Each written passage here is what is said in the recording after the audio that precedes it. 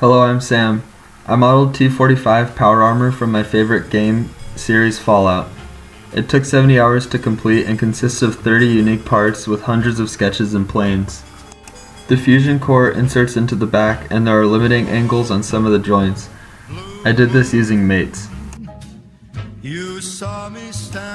I began by sketching to get an idea of the proportions and the details. Then modeled the lower leg using lofts and surfaces. This part took me over 10 hours since I was new to SOLIDWORKS. I had difficulty mating the fingers because it was too much for my computer to handle. Mating was one of the toughest parts of this project. The shoulders may have been the most difficult part to model. I used lofts with guide curves, cuts, scaling, and boundary surfaces to create the shape, then added details with projected extrusions. Most of the details of the helmet were created with projected extrusions and sweeps as well.